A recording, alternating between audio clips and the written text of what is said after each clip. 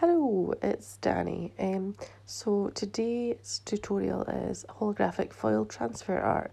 Sounds complicated, it's really, really easy. So you start with whatever base you're using, whether that be acrylic colour or gel colour, and you lay that down. Uh, just as you always would, and you just want to build up that colour. So I go in with two coats of this, um, and yeah, that's all that I do.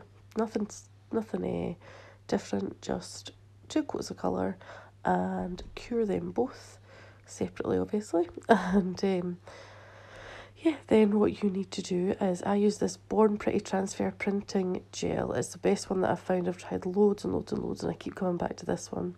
Um, and this is the transfer foil. Um, so what you want to do is apply the printing gel um, in a nice kind of thick layer um, and then you're going to cure that as you would a normal gel polish, so for 60 seconds. Um, I used to do 60 seconds because it's an LED light. Then you are literally just popping the foil on, pressing down and lifting up, and that's it.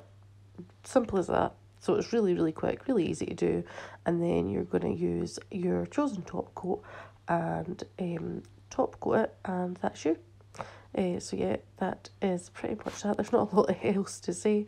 Um, that is, it's really easy. I had, I had to say it the other day where she wanted on every finger and it didn't take any longer than it would for any other art.